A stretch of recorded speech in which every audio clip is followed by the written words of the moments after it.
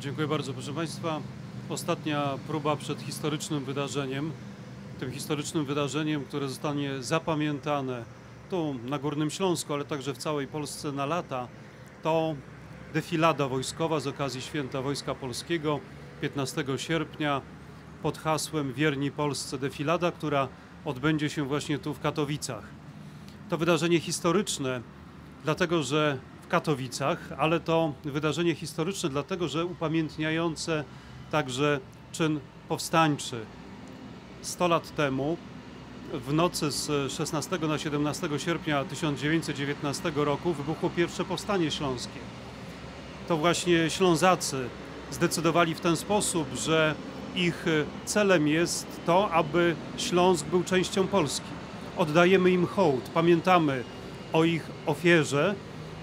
Wszyscy pamiętamy o tym, że pierwsze powstanie śląskie wybuchło w efekcie masakry w Mysłowicach, masakry dokonanej przez Niemców. W wyniku tej masakry zginęły osoby cywilne, zginęli górnicy, zginęli również, zginęły kobiety, zginęły dzieci.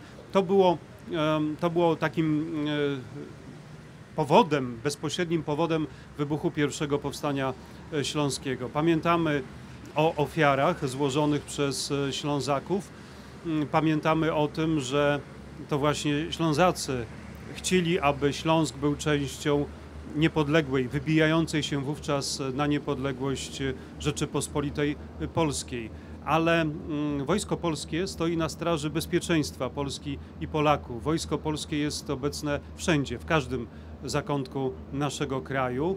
15 sierpnia to tu w Katowicach będą prezentowali się żołnierze Wojska Polskiego ze wszystkich rodzajów sił zbrojnych, a więc żołnierze z wojsk lądowych, z sił powietrznych, z marynarki wojennej, z wojsk specjalnych i z wojsk obrony terytorialnej. Będą również przedstawiciele szkół wojskowych, będą przedstawiciele organizacji proobronnych, a także uczniowie klas mundurowych. To wielkie święto, to święto Wojska Polskiego, to święto, które wpisuje się na trwałe w historię ziemi śląskiej. Proszę Państwa, żołnierze Wojska Polskiego są bardzo doceniani przez naszych sojuszników. 15 sierpnia tu w Katowicach, obok Wojska Polskiego, będą defilowali żołnierze wojsk Stanów Zjednoczonych, Wielkiej Brytanii, Rumunii i Chorwacji, a więc żołnierze, którzy na co dzień ćwiczą w Polsce w ramach programu IFP, a więc 1600 żołnierzy będzie defilowało w Katowicach. Przejedzie ponad 190 pojazdów wojskowych różnego typu. Chciałbym zwrócić uwagę na sprzęt wojskowy, który został wyprodukowany w Polsce, a więc na armato haubice Krab i na samobieżne moździerze Rak, które właśnie stanowią dumę polskiego przemysłu zbrojeniowego.